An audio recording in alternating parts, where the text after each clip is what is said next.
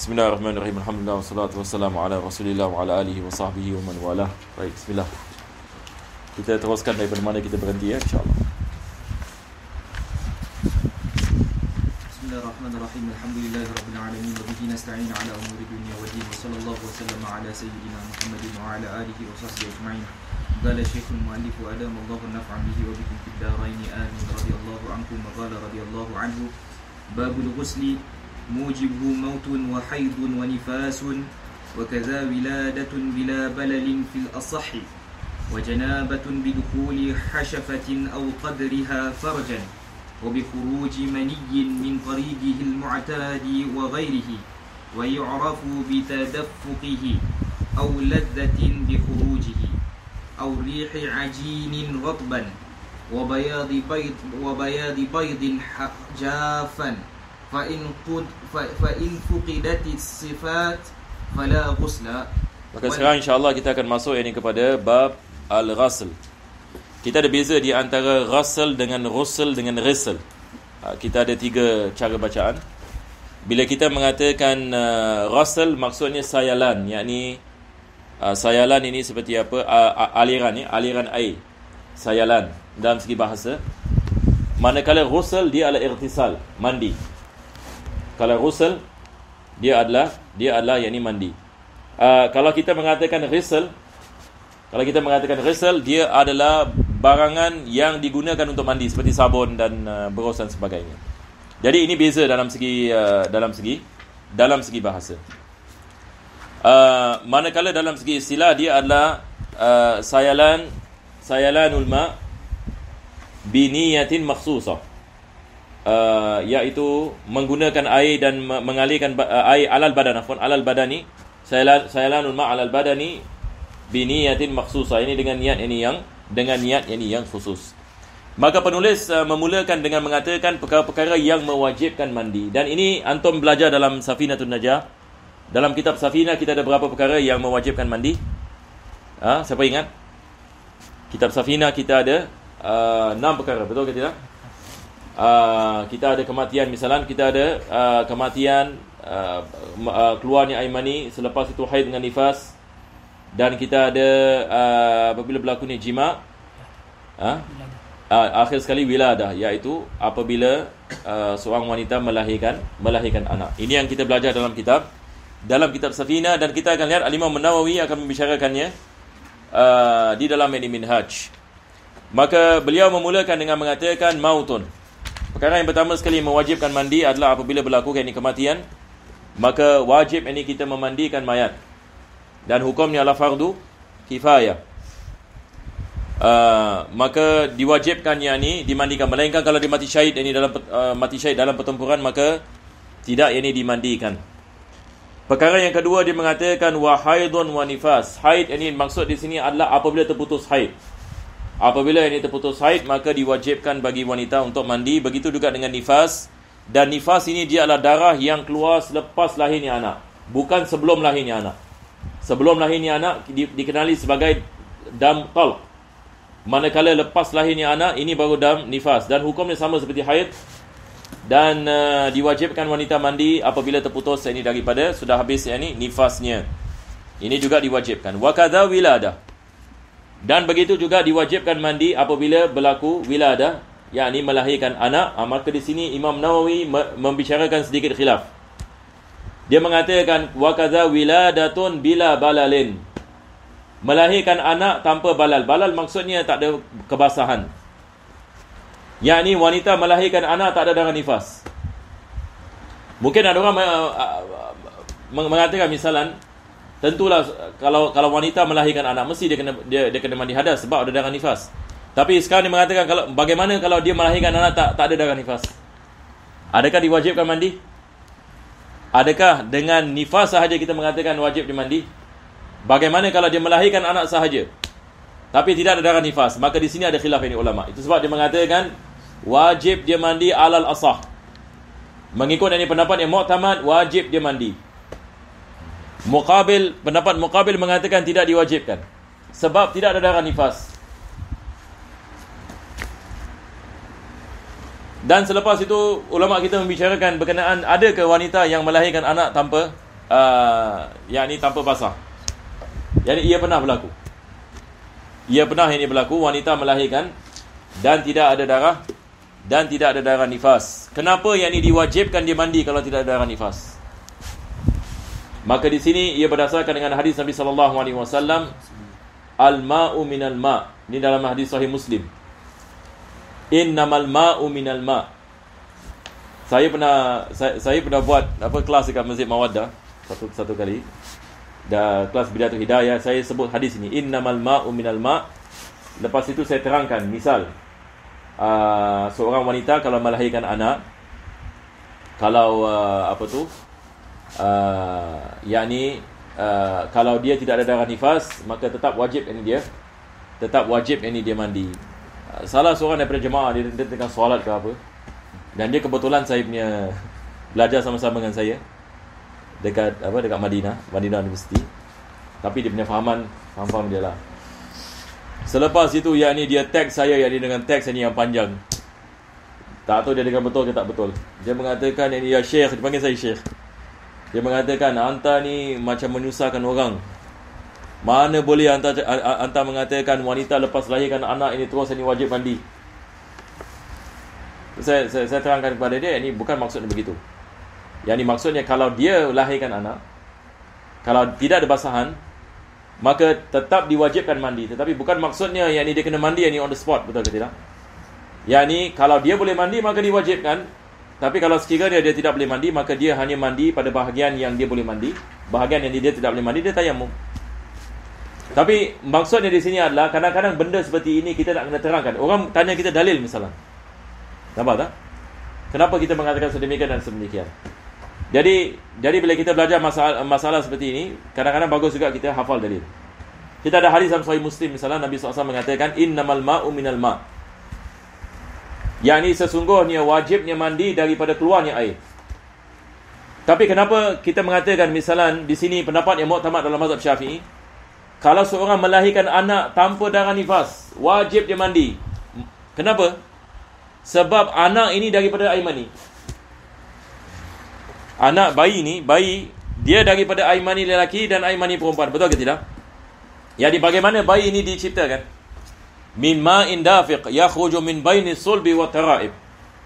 Jadi dia adalah seperti air mani. Maka air mani keluar daripada rahim yakni wanita maka diwajibkan dia mandi. Diwajibkan dia mandi. Ini adalah dalil yang dibagi pendapat yang muktamad yang mengatakan diwajibkan yang ini dia diwajibkan mandi. Walaupun ini kita ada pendapat muqabil asah mengatakan mengatakan tidak diwajibkan. Wajanabatun. Perkara yang ini yang seterusnya adalah apabila seorang itu dalam keadaan junub maka dia terangkan bidukhuli hasyafatin dengan masuknya hasyafah ke dalam faraj. Jadi hasyafah ini adalah kepala zakar. Jadi kalau sekiranya kepala zakar masuk ke dalam faraj maka ini sudah wajib mandi. Tapi kalau belum masuk ke sepenuhnya. Misalnya kepala zakar hasyafah separuh saja masuk belum lagi wajib mandi. Dia nak kena masuk ke semua ni. Ataupun kadarnya kalau sekiranya dia tidak ada kepala zakar. Satu orang ini tidak ada kepala zakar.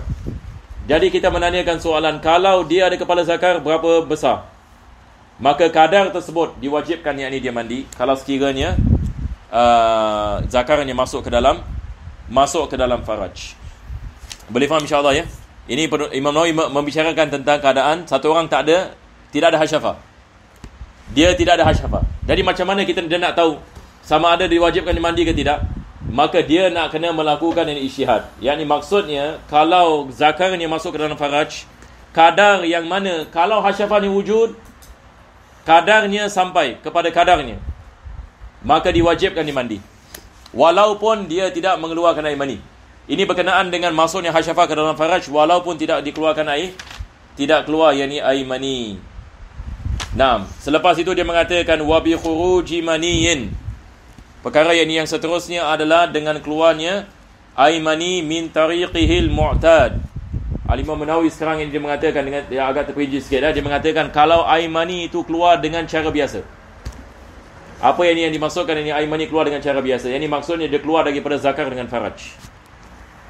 Yang ini aimani ini biasa yang ini keluar daripada uh, dia keluar daripada kemaluan. Tetapi bagaimana kalau air mani yang ini keluar daripada bahagian badan yang lain? Misalan satu orang ini misalan nauzubillah min zalik dia accident. Lepas itu uh, apa tu tangannya ke ataupun yakni badan belakang dan sebagainya patah ke apa keluar air mani. Maka ini tidak diwajibkan mandi. Ini tidak diwajibkan mandi. Apa sebabnya? Sebab dia bukan tariqul mu'tad. Dia bukan ini tariq al-mu'tad. Jadi yang mu'tad maksudnya yang biasa keluarnya air mani adalah kalau sekiranya ia keluar ini daripada kemaluan. Ia keluar daripada kemaluan. Ini adalah perkara yang pertama. Perkara yang kedua dia mengatakan au ghairihi. Ataupun daripada selain perkara yang ini yang biasa. Yang dimaksudkan di sini adalah kalau sekiranya air mani itu keluar daripada tulang sulbi. Ini antum antum nak kena tulis ini ya. Kalau sekiranya air mani keluar daripada tulang sulbi. Kenapa yang ini tulang sulbi? Sebab tulang sulbi ini adalah tempat air mani. Tulang sulbi ini dia adalah tempat dia adalah tempat yang ini air mani. Di sini kita ada khilaf ini ulama dalam uh, mazhab Syafi'i di antara Syekh Ibn Hajar dengan yang ini Imam Ramli. Uh, Syekh ini Ibn Hajar dia mengatakan kalau sekiranya air mani itu diambil daripada bahagian bawah tulang sulbi. Dia membezakan bahagian bawah dengan bahagian atas. Apa maksud ini bahagian bawah tulang sulbi? Ini tulang sulbi ini kita punya backbone. Kita punya apa kita panggil ini tailbone. Tailbone ini bahagian bawah tulang sulbi. Kalau sekiranya air mani dikeluarkan daripada tailbone, maka ini mewajibkan mandi. Tapi kalau sekiranya air mani itu dikeluarkan atas, bahagian atasnya tidak diwajibkan tidak diwajibkan mandi. Berbeza dengan Khatib bin Syirbini yang mengatakan uh, yakni tidak ada beza di antara tidak ada beza di antara kedua-duanya.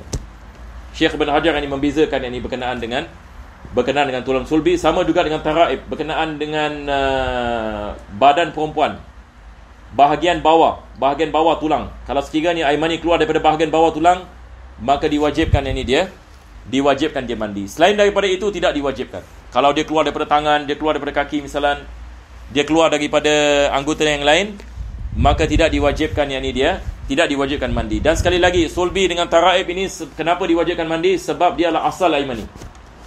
Dia adalah asal ini tempat tempat ini air mani. Ini yang dimasukkan bila beliau mengatakan wa ghairihi, selain daripada tarik mu'tad. Sebab ini bukan mu'tad juga. Mengeluarkan air mani daripada tulang uh, tulang sulbi bukan kebiasaan. Tetapi dia boleh mewajibkan mandi kalau sekiranya ia dikeluarkan. Boleh insya-Allah. Selepas itu beliau menerangkan tentang bagaimana kita nak mengenali uh, air mani ini biasa kita kita baca misalnya dalam kitab Muqaddimah Hargamiyah dalam uh, dalam kitab apa? Dalam kitab Safinatun Najah dia mengatakan wa yu'rafu bi tadaffuqihi. Yani air mani ini dia keluar dengan pancaran. Tadaffuq ini maksudnya dia air yang memancar. Ini juga Allah mengatakan dalam Al-Quran, bima indafiqin yakhruju min baini sulbi wa tara'ib. Yang ini dengan air yang memancar. Au lazzatin. Ataupun dia tidak memancar tapi ada kelazatan dengan keluarnya. Dia diikuti dengan dengan yakni kelazatan bi khurujihi au rihin ajin. Kalau sekiranya baunya ini seperti bau adonan tepung.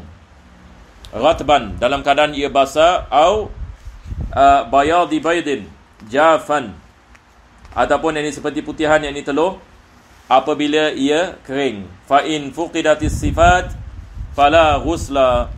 Kalau sekiranya kesifat-sifat ini tidak ada maka tidak diwajibkan tidak diwajibkan mandi. Jadi bagaimana kita nak membezakan air mani dengan selain air mani? Kita lihat kepada warnanya ataupun kita lihat kepada kelazatannya ataupun kita lihat sama ada dia memancar atau tidak memancar maka ini adalah cara-cara untuk kita menentukan sama ada diwajibkan yang ini mandi ataupun yang ini tidak diwajibkan tidak diwajibkan uh, mandi. Taib. Selepas itu dia mengatakan wal mar'atu ka rajulin. Wanita ini sama ini seperti sama seperti lelaki. Yang ini apa maksudnya?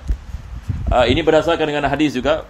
Ada seorang wanita datang kepada Nabi SAW dan mengatakan adakah diwajibkan wanita mandi kalau sekiranya yang ini keluar air mani? Maka Nabi sallallahu alaihi wasallam mengatakan wajib ini ke atasnya wajib ini ke atasnya mandi cuma sifat uh, air mani lelaki dengan sifat air mani wanita dia agak beza sedikit air mani yang wanita ini dia uh, dia uh, ringan sedikit. Berbeza ini dengan air mani dengan air mani ini lelaki. Maka diwajibkan ini dia mandi apabila ini keluar air mani wa yahrumu biha ma haruma bil hadathi wal muksi bil masjidi la uburuhu dan berkenaan dengan perkara-perkara yang diharamkan ini juga ini alhamdulillah kita telah mempelajarinya kan? Uh, kita ada perkara-perkara yang diharamkan dalam wudu. Semua perkara yang diharamkan dalam wudu diharamkan dalam diharamkan da- dalam dalam junub. Jadi kita ada empat perkara. Diharamkan solat diharamkan tawaf diharamkan pegang kepada mushaf dan angkat mushaf.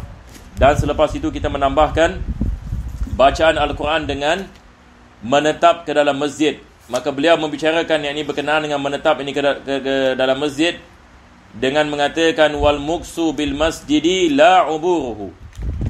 Tetapi boleh baginya untuk berlalu dalam masjid. Jadi kalau dia berlalu dibolehkan. Tapi kalau dia menetap maka diharamkan. Jadi berlalu maksudnya dia masuk daripada satu pintu keluar daripada pintu yang daripada pintu yang lain. Maka ini dibolehkan. Ini nas daripada al-Quran. Allah mengatakan illa abiri sabil illa abiri sabil Abiri sabil yang dimaksudnya orang ini yang berlalu. Tetapi yang diharamkan muks. Muks ini dia masuk masjid dengan niat apa? Dengan niat menetap dalam masjid. Dia nak duduk misalnya. Ataupun yang ini dia nak berada dalam masjid seketika dan sebagainya. Maka ini adalah muks. Tapi kalau dia niat setakat nak berlalu saja. Nak ambil shortcut misalnya. Maka ini dibolehkan. Ya? Apa dia? Nak tengok masjid. Uh, sama juga. Kalau tak kalau dia nak tengok masjid ini muks kalau mak, maksudnya dia masuk dalam masjid tak, dia, niat dia dia nak tengok-tengok masjid. Ini ini ini ini menetap dalam masjid. Berlalu di sini maksudnya dia setakat berlalu. Dia dah masuk dari satu pintu keluar dari pintu yang lain. Jadi kita nak bezakan ni apa yang dimaksudkan dengan berlalu dengan uh, dengan yakni menetap. Selepas itu beliau mengatakan dia diharamkan ini bacaan bacaan Al-Quranul Karim. Dalam mazhab Syafi'i ini agak syadid sikit ya, berkenaan dengan baca Al-Quran. Ulama kita mengatakan dia haramkan bacaan Quran sama sekali. Melainkan kalau dia niat zikir. Seperti apa dia naik bas misalnya dia baca subhanallazi sakhkhara lana hadha wa ma kunna lahu muqrinin wa inna ila rabbina lamunqalibun. Ini Quran. Tapi kenapa dia baca ayat ini? Sebab dia naik bas, dia naik kenderaan. Dia naik ini kenderaan, maka niatnya adalah zikir. Walaupun dia baca Quran, ini dibolehkan. Seorang satu orang meninggal dunia dia baca dia dia dengar dia mengatakan inna lillahi wa inna ilaihi rajiun. Dibolehkan sebab ini niat zikir tetapi dia tidak boleh baca dengan niat Quran. Dia tidak boleh baca ini dengan niat Quran. Jadi yang pertama kita mengatakan dia dibolehkan dia baca dengan niat zikir, yang kedua kalau dia niat tahsin. Ini adalah yang kedua. Misalnya ni dia haid wanita dalam keadaan haid, dia nak masuk hutan. Dia takut ini kalau ada jin ganggu dan sebagainya, dia baca ayat kursi ataupun dia baca yasin, dibolehkan. Sebab ini adalah niat ini adalah niat tahsin. Selain daripada dua perkara ini dalam mazhab Syafi'i tidak dibolehkan. Tidak dibolehkan. Ya. Uh, uh, tak wa, walaupun walaupun uh, biasa ini mereka taklid kepada mazhab Malik. Dalam mazhab Maliki, dalam mazhab ini Maliki uh, dibolehkan. Uh, ya. Mereka taklid. Sama juga orang boleh mengajar Al-Quran mereka taklid pada mazhab Maliki. Sebab dalam mazhab Syafi'i sebab di mazhab Syafi'i ni syadid sikit dalam dalam perkara ini. Uh, wal Quran wa tahillu adhkaruhu dia mengatakan dihalalkan yang ini zikir la biqasdi Quran. Nampak tak? Dia mengatakan yang ini bukan yang ini dengan maksud bacaan bukan dengan maksud ini bacaan Al-Quran. Selepas itu yang ini dia menerangkan yang ini tentang niat ini mengangkat hadas. Boleh kita teruskan lagi ke bagaimana? Lagi sikit boleh? Lagi? Tak terlalu lambat ke apa kan? Okey, teruskan baca sikit. Ya. Wa aqalluhu niyyatu raf'i janabatin aw istibahati muftariqin ilayh aw ada'i fardil ghusli marqunatun bi awwali fardin wa ta'mimu syar' wa ta'mimu sya'rihi wa basharihi ولا تجب مضمضة واستنشاق طيب dia mengatakan di sini uh, wa uh, wa aqalluhu yakni maksudnya yang paling minimum niyatu raf'i janabah. Sekarang ini satu orang ini nak mandi hadas. Ah, bagaimana dia nak niat? Jadi sama ada dia niat saja aku mengangkat janabah ataupun nawaitu istibahata muftakirin ilaihi. Jadi maksudnya dia niat dengan sesuatu yang diwajibkan dia mandi kerana ini. Yang misalan sekarang kita mengatakan misalan satu orang kalau nak solat satu orang kalau nak solat wajib ini dia mesti dalam keadaan suci daripada hadas besar. Jadi kalau dia mengatakan nawaitu istibah nawaitu istibah atas salat. Dia mengatakan nawaitul apa? Nawaitul ghusla listibahati salat. Ataupun dia mengatakan nawaitul ghusla li salat. Aku mandi kerana salat. Sekarang salat ini boleh tak kita melakukan salat dalam keadaan junub? Tidak boleh. Yakni wajib kita mandi baru kita salat. Ini yang dimasukkan muftakirun ilaih.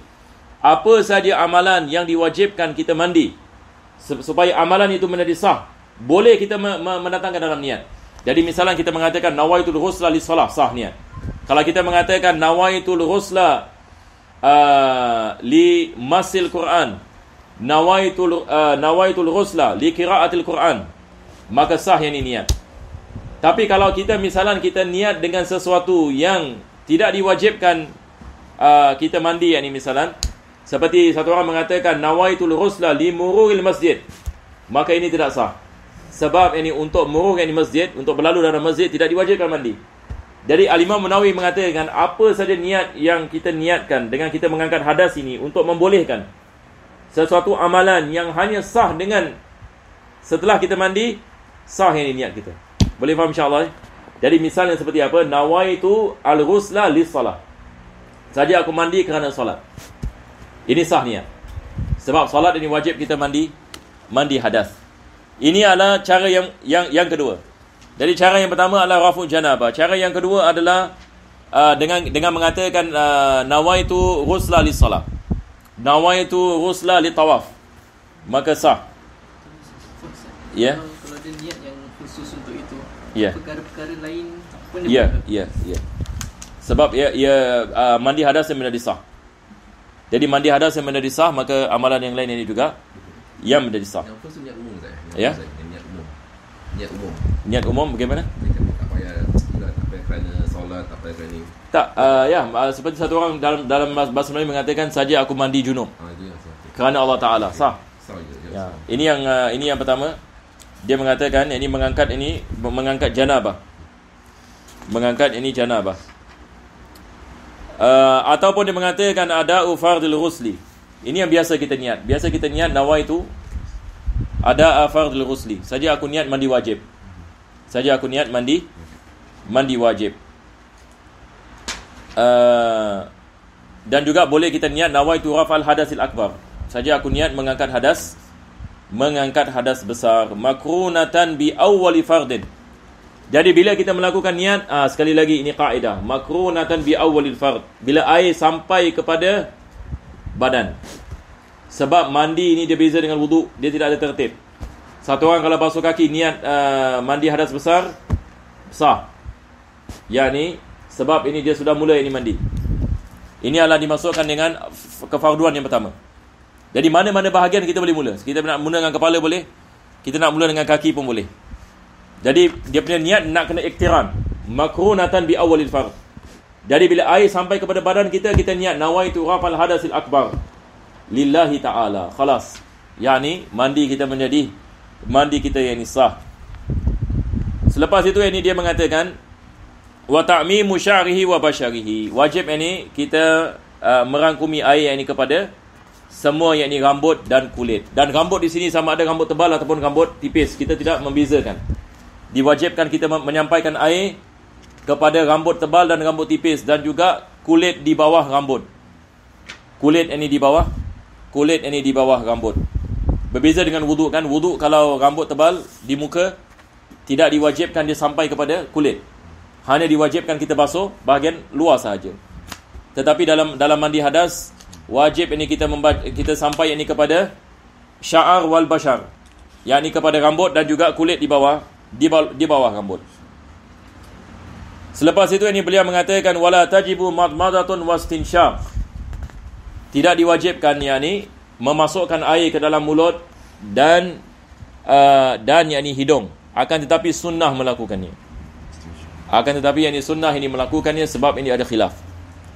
Tetapi yang ini dia bukan termasuk zahir badan. Satu orang kalau mandi dia tak uh, basuh mulut dia misalan dan basuh dalam uh, dalam hidung tetap yang ini tetap yang ini sah. Selepas itu beliau mengatakan wa akmaluhu yang sempurna adalah dia menghilangkan kotoran dahulu. Selepas itu baru dia mengambil wudu sebelum dia mandi. Jadi misalnya kalau badannya ada kotoran, maka sunnah dia menghilangkan kotoran dahulu. Apa sebabnya? Sebab ini ditakuti air tersebut air tersebut hilang ini kemutlakannya. Air tersebut ini hilang ini kemutlakan. Kalau dia tidak menghilangkan kotoran.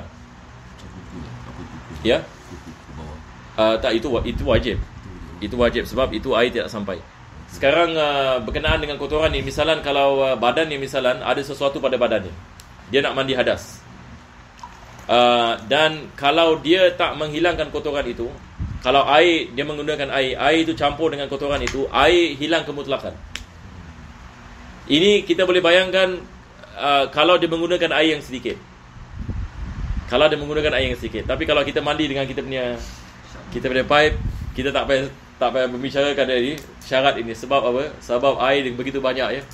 Kalau kalau badan kita ada kotoran pun kita mungkin niat mandi 2 3 kali. Kotoran itu pasti ini akan hilang, betul ke tidak? Tapi di sini penulis ini dia membicarakan kalau orang hanya menggunakan satu sak misalnya, seperti mandi dengan Nabi SAW. Uh, jadi dia nak ada pastikan tak ada kotoran pada badannya. Sebab kalau ada kotoran, air boleh hilang kemutlakan. Sebab air sedikit. Air mengalir sedikit saja. Kalau ada dust ke apa, misalnya dia akan campur dengan dust, hilang kemutlakan. Jadi dia tak mengangkat hadas. Betul ke tidak? Tapi beza kalau dia mandi kat sungai ke ataupun dia mandi uh, apa dengan air yang banyak, maka itu tidak ada masalah. Maka di sini dia mengatakan yang sempurna pertama sekali dia menghilangkan kotoran. Selepas itu ini baru mengambil selepas itu baru mengambil wudu. Maka mengambil wudu ini adalah sunnah. Mengambil wudu adalah mengambil wudu ini adalah sunnah. Maka caranya adalah kita uh, pertama sekali menghilangkan kotoran pada badan kita, selepas itu kita basuh kemaluan dahulu. Selepas kita basuh kemaluan baru kita mengambil wudu. Supaya yang ini kita tidak memegang kemaluan bila kita mandi. Sebab kita sudah basuh kemaluan. Jadi selepas ini kita basuh kemaluan, kita mengambil wudu baru kita mandi. Ini adalah cara yang ini yang yang disunatkan. Basuh kemaluan mesti apa dia yang bawa itu. Ya. Apa hadatnya hadaini mahlaini. Ya, sama ada dia mengatakan sedemikian ataupun dia dia mengatakan nawaitu rafal hadasil akbar. Jadi dia mula dengan kemaluan. Nawaitu rafal hadasil akbar. Kalau kita mengatakan nawaitu rafal hadasil akbar, apa saja yang kita basuh hadasnya sudah terangkat. Jadi masa dapat ambil wudu, adakah wajib untuk dia nawaitu adakah perlu untuk dia niat wudu? Ya, perlu. Jadi itu dia punya pecahan Ya. tak ada muala daripada yang dia itu kira kan dia pecah dia ni angkat hadis angkat hadas besar lepas tu wudu dah lain punya fi'il lepas tu balik kepada dia punya lepas tu angkat hadas besar Dia uh, oh dia dia dia dia pertama sekali dia mengangkat hadas, dia niat mengangkat hadas. Uh, dia basuh kemaluannya dahulu. Selepas itu dia niat wudu. Jadi antara persoalan is uh, apa tu? masa sambung balik dia dia dia nak kena niat Dia dia dia tidak putus. Dia tidak putus sebab uh, sebab berkenaan dengan mandi hadas ini, kalau satu orang itu dia mandi hadas, uh, dia basuh sebahagian daripada badannya. Selepas itu selepas beberapa ketika dia mandi lagi dengan niat mandi hadas. Sebab bila dia mandi hadas yang kali yang pertama, hadasnya sudah terangkat. Walaupun tidak ada mualah. Walaupun dia tidak berterusan. Sebab uh, berterusan bukan syarat. Mualah ini bukan uh, bukan syarat dalam dalam mandi hadas. walaupun air belum mengalir kepada Walaupun walaupun tapi hadasnya sudah terang hadasnya sudah sudah terangkat. Sebab dia dah niat uh, mengangkat hadas besar. Jadi dia bila basuh kemaluan dia nak kena niat mengangkat hadas. Sebab kalau dia tak niat mengangkat hadas, dia basuh saja. Uh, dia mengambil wudu selepas itu dia kena basuh kemaluan dia lagi. Betul ke tidak? Uh, jadi dia hikmahnya adalah ke- kenapa dia mandi uh, dia dia basuh kemaluan dahulu supaya bila dia mandi dia tak perlu memegang kemaluannya. Kalau tak batal wudu ni. Kalau dia mandi dan dia memegang kemaluan batal wudu. Betul ke tidak? Jadi dia nak kena mengambil wudu dahulu. Jadi di sini penulis ini mengatakan sumal wudu. Jadi selepas dia basuh kemaluan dia mengambil wudu. Selepas dia mengambil wudu, maka dia niat yang ini mandi hadas. Dia niat yang ini mandi, dia niat yang ini mandi hadas sekali lagi. Wa fi qaulin ada yang ini dalam qaul ini pendapat ilmu ya, wa fi qaulin ini maksudnya yakni uh, pendapat dhaif. Yu'akhiru ghuslu qadamain. Yang ini akhir sekali dia basuh kaki ni. Kenapa yang ini, ini pendapat yang lemah? Ada hadis Nabi sallallahu alaihi wasallam disifatkan Nabi SAW bila dia mandi, dia membasuh kakinya akhir mandi. Ulama kita dalam mazhab Syafi'i menerangkan kenapa Nabi melakukan sedemikian. Maka mereka mengatakan Nabi sallallahu alaihi wasallam bila dia mandi pada ketika itu, dia mandi dalam keadaan yang mana dia mandi atas tanah. Dia mandi yang di atas tanah. Jadi cuba bayangkan kalau seorang itu mandi atas tanah, Air kalau kena tanah dia jadi apa? Lecak kan? Maka kaki ini biasa dia akan kotor dengan tanah. Maka disebabkan itu Nabi SAW bila dia mandi dia tak basuh kaki ni dahulu. Dia basuhkan semua badan ni dahulu, akhir sekali dia basuh kaki. Disebabkan keadaannya adalah kakinya penuh dengan tanah. Sebab ini dia mandi dalam dalam keadaan sedemikian. Itu sebab uh, ulama kita mengatakan ini bukan satu kewajipan. Ini bukan ini satu kewajipan dan juga ini bukan ini sesuatu yang ini yang kita mengatakan uh, disunatkan. Sebab ada sebab ini yang lain kenapa dilakukan dilakukan sedemikian. Masuk kaki sekali baru pagi. Apa dia? Wuduk masuk kaki sekali baru continue mandi hadas. Mandi hadas. Bukan bukan bukan. Maksudnya kita berkenaan dengan mandi hadas ini yang yang pertama sekali bila kita nak mandi setelah kita basuh kemaluan setelah kita mengambil wudu, kita mula dengan kepala dulu. Lepas ini kepala baru bahagian sebelah kanan, lepas tu bahagian sebelah kiri. Jadi bila kita bahagian sebelah kanan kita termasuk kaki kanan, bahagian sebelah kiri termasuk kaki kiri. Ya. ya. Masuk kaki sekali.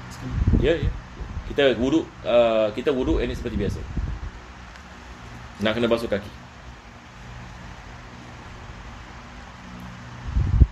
Selepas itu ini beliau mengatakan Summa ta'ahudu ma'atifihi uh, Dia basuh bahagian lipatan Bahagian lipatan seperti apa telinga misalnya Ini adalah lipatan kan Jadi kita nak kena jaga-jaga Air pastikan kita memasuki bahagian lipatan uh, Begitu juga perut uh, Ada yang ini lipatannya uh, Kelengkang Lipatan uh, Ketiak ini semua adalah tempat-tempat yang kita nak kena berjaga sedikit.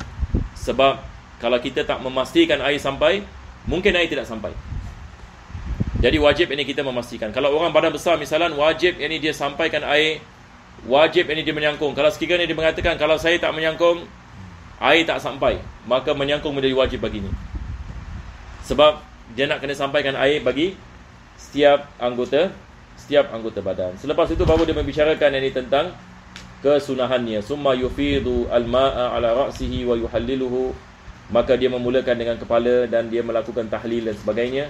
Insyaallah ini kita berhenti di kita berhenti yang ini di sini. Bismillahirrahmanirrahim. Alhamdulillahirabbil alamin. Allahumma salli wa sallim ala sayyidina muhammad wa ala ali sayyidina muhammad ربنا آتنا في الدنيا حسنة وفي الآخرة حسنة وقنا عذاب النار. صلى الله على سيدنا محمد وعلى آله وصحبه. الحمد لله رب العالمين.